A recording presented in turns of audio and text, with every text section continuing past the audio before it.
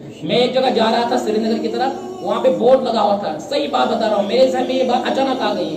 वहाँ पर स्टूडेंट के नाम लिखे होते नीट ये जो नीट क्वालिफाई करते हैं एमबीबीएस क्वालिफाई करते हैं, इनके इतने मार्क्स आ गए, इनके इतने मार्क्स आ गए।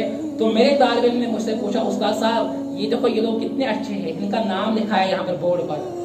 तो मैंने उसे कहा, बेटा, आप दिल छोटा मत कर लीजिए। इनका नाम दुनिया में लिखा है। ये अब्दुल जब्बार का बेटा है जो एमबीबीएस में पास हुआ है। आपका नाम कल जन्नत के दरवाजे में लिखा होगा। ये वो बच्चा है, ये वो वाले है जिनने अपने बच्चे को हाफिज कुरान बनाया था। बताइए क्या चाहिए? दुनिया चाहिए या आखिरत चाहिए? ये तो हमारी बातें नहीं ना। नबी पाक सल्लल्लाहु अलैहि वसल्लम रोज मैशर है शेर नबी ऐसा जमा, सब सहाबा होंगे अलिया कामिल होंगे, उस जमात में अलमदारी मुल्क कश्मीर भी होंगे। सोचो सुल्तान आरफीन होंगे सईद अली अली बलकी रहमा होंगे सकी जैनुद्दीन वली होंगे, गौसी पाक होंगे, अबा बकर सिद्दीक होंगे जब कहा जाएगा, खड़े हो जाओ अब्दुल सत्तार और इनकी इनकी शरीक हयात भी खड़े हो जाए। बारी तला सैन कदर क्या हुक्म? फरिश्तो, इनके सरों पर सोने का ताज रखो। क्यों रखा जाएगा सोने का ताज?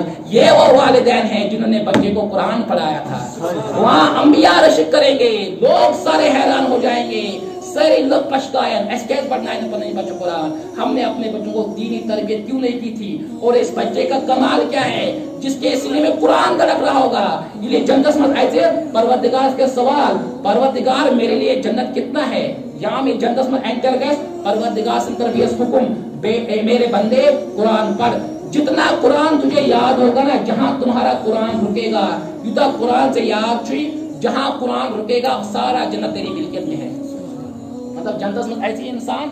इसको पता चलेगा कि मुझे, मेरे अंदर मुझे कितनी प्यारे इस्लाम भाइयों, सारी फजीलत कुरान और हदीस में करीब आए दीन के परवरदिगार से दुआ है कि अल्लाह पाक में कहने, सुनने से ज़्यादा अमल करने की तौफीक ना फरमाए।